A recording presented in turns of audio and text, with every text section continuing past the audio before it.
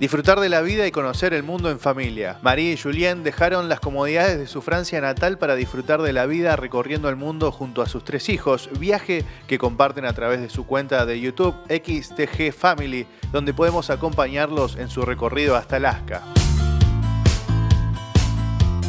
Bueno, conozco poco ahora. Eh, Uruguay, Brasil, Paraguay, entrada a Misiones, Argentina.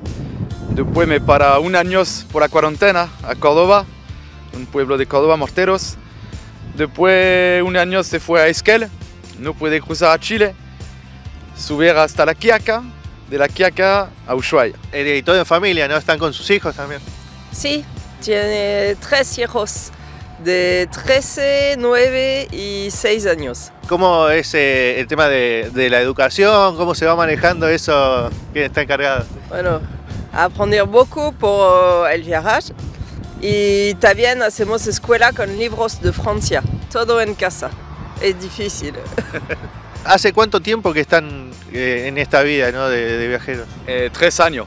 ¿Qué fue la, la decisión? eh, ¿Dejaron todo en Francia y a recorrer el mundo? Sí, a disfrutar de la vida. Vendió todo a Francia, la casa, todo. Y se fue a armar el camión y después se fue a disfrutar de la vida. Eh, ¿Y, y por qué esa, esa decisión ¿no? de, de cambiar tanto radicalmente la- el estilo de vida? Porque em, todo el tiempo somos al trabajo y casi no cruzar los niños y la educación viene ¿no? de nosotros, de la escuela, de... y a nosotros no le gustó eso. También le gustó mucho ver otras cosas que solo un país y por esto se fue. Y, y bueno, se han encontrado con, con, eh, un buen recibimiento, ¿no? La, la gente se pone contenta, es muy solidaria también con ustedes. La gente de Argentina, espectacular. no, muy bueno. Sí, si tiene un problema el camión, te para, la gente se para, te, te ayudo. eh, la gente te, te pregunta si necesita agua u otra cosa. No, es muy bueno. Y ahora, ¿cuál es el, el destino que después de Tierra del Fuego, hacia dónde se dirigen? Eh, ahora se va por eh, Punta Arena, eh, Torres del Paine y subir hasta Alaska.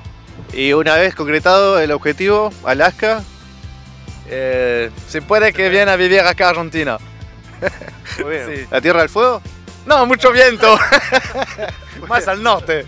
Córdoba, me gusta Córdoba. Por la calor.